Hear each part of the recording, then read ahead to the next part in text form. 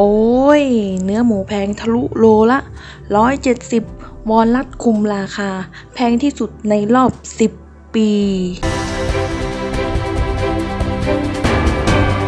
ทันข่าวทันเหตุการณ์กดติดตามทั้ง Facebook และ YouTube ข่าว 3 ทีวีเอาไว้เลย อย่าลืมกดเพิ่มเพื่อนในไลน์เพื่อพูดคุยกับข่าว 3 ทีวี ไม่ว่าจะเป็นข่าวสารสวัสดิการแห่งรัฐ เงินอุดหนุนเด็ก ผู้พิการ เงินเกษตรกร หรือมาตรการต่างๆ ที่รัฐบาลอัปเดตและช่วยเหลือประชาชน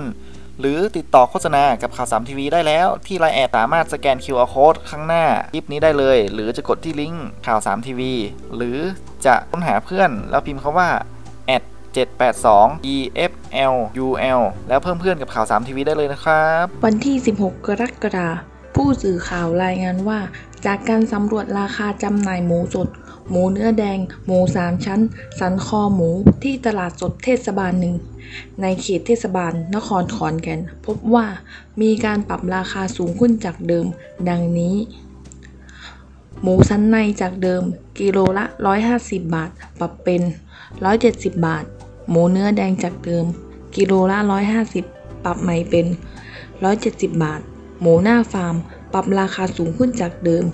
จาก 70 บาท ปรับเป็น 85 บาท จากการสอบถามนางคนึงนิด อายุ 54 ปีกล่าวว่า ปัจจัยหลักที่อาจทำให้หมูราคาแพงขึ้น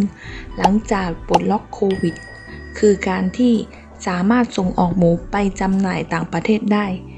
อีกทั้งหนึ่ง ในช่วงที่ผ่านมา หมูเลี้ยงอาจจะตายเยอะทำให้จำนวนประชากรหมูลดลง ก็เป็นปัญหาเดิมๆ พอหมูเป็นตัวลดลงจากฟาร์ม ก็ปรับราคาขึ้น แต่ครั้งนี้ราคาขยับเร็วขึ้นกว่าปกติ เพราะหลังจากปลดล็อกโควิด ราคาก็ขยับขึ้นมาเรื่อยๆ ตั้งแต่เดือนมิถุนา จากเดิม หมูหน้าฟาร์ม กิโลกรรัมละ 70ถึง75 บาท ตอนนี้ปรับราคาขายเป็นกิโลกรรัมละ 85 บาททำให้ราคาขายปีกเนื้อหมูในท้องตลาดต้องปรับราคาขึ้น ตามเดิมอยู่ที่กิโลกรรัมละ 150 ถึง 155 บาท ปรับราคาขึ้นเป็น 170 บาท ซึ่งเป็นการปรับราคาเร็วและแพงที่สุดในรอบ 10 ปี แต่ราคาหมูที่แพงแบบนี้เคยเกิดขึ้นมาแล้วเมื่อประมาณ 10 กว่าปี แต่ไม่เคยคิดว่าเหตุการณ์แบบนี้จะเกิดขึ้นอีก ขออย่าให้ราคาหมูเป็นๆหน้าฟาร์มขยับราคาขึ้นอีก ขอให้ราคานิ่ง ถ้ายังเท่านี้ ก็ยังสามารถอยู่ได้ ลูกค้ายังพอมีกำลังซื้อ แต่ถ้าราคาหน้าฟาร์มขยับราคาขึ้น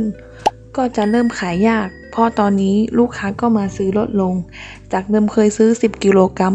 ก็ลดเหลือ 5 กิโลกรัมนางคนึงนี่กล่าวต่ออีกว่า อยากให้รัฐบาลเข้ามาควบคุมราคาหมูเป็นเป็นหน้าฟาร์มอย่างเร่งด่วน โดยขอให้ราคาลดลง คุมราคาอยู่ที่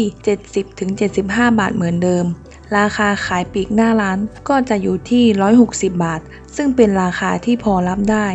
ลูกค้าจะได้หันกลับมาซื้อเนื้อหมูไปบริโภคกันมากขึ้น เพราะขณะนี้พ่อค้าแม่ค้าเขียงหมูเดือดร้อนอย่างมาก ถ้าราคาแพง ลูกค้าก็ไปซื้ออย่างอื่นแทน